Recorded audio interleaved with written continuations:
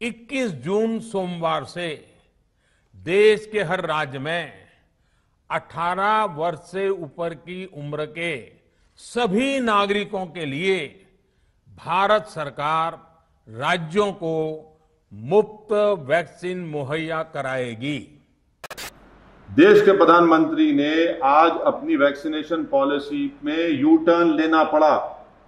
इसलिए लेना पड़ा क्योंकि सुप्रीम कोर्ट ने उन पर ये ऑब्जर्वेशन किया कि मोदी सरकार की वैक्सीनेशन पॉलिसी आर्बिट्री है डिस्क्रिमिनेटरी है।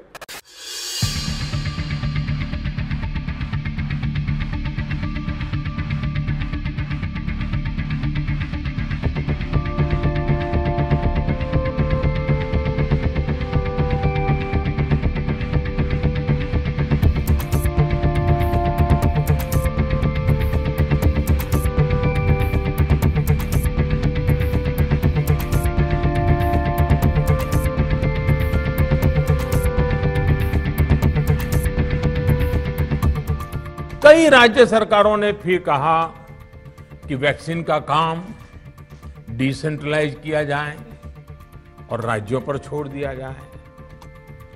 तरह तरह के स्वर उठे, जैसे कि वैक्सीनेशन के लिए एज ग्रुप क्यों बनाए गए। दूसरी तरफ़ किसी ने कहा कि उम्र की सीमा आखिर केंद्र सरकार ही क्यों तय करे। कुछ आवाज़ें तो ऐसी भी उठी कि बुज़ुर्गों का वैक्सीनेशन पहले क्यों हो रहा है?